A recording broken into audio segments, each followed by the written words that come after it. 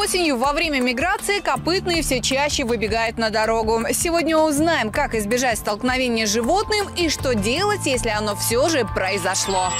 Как отмечают в ГАИ, в конце ноября количество ДТП с участием копытных возрастает. Чаще всего зверя можно встретить в густых лесах. Дикие животные проявляют наибольшую активность в темное время суток. Именно в эти периоды они а, питаются и переходят от места кормежки к месту отдыха.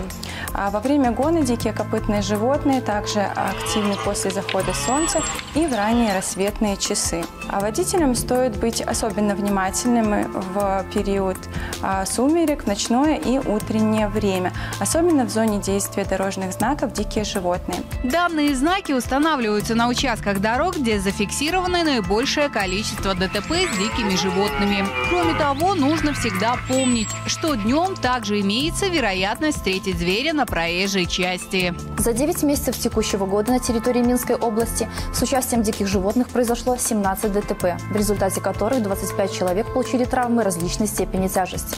Водители, двигаясь вдоль леса, всегда должен быть осторожным за рулем, а въехав в зону действия предупреждающего дорожного знака «Дикие животные», обязан следить за безопасной скоростью движения. Увидев вблизи дороги животное, необходимо максимально снизить скорость, вплоть до остановки, и включить аварийную световую сигнализацию для привлечения внимания других участников дорожного движения. Цель установки знака «Дикие животные» – предупредить водителя о возможной опасности.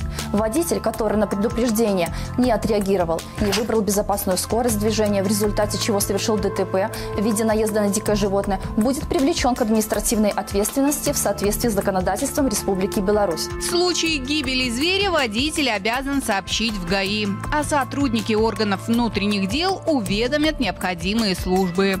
Дальнейшие действия, как при обычном ДТП. Включить аварийную сигнализацию, выставить соответствующий знак. Оставлять место ДТП запрещено. В соответствии с правилами ведения охотничьего хозяйства в случае обнаружения на территории охотничьих угодий или на территории не входящих в фонд охотничьих угодий, раненых, травмированных, больных или погибших диких животных запрещается самовольно добывать, разделывать, перемещать, транспортировать их туши или части туш, а также использовать их продукцию.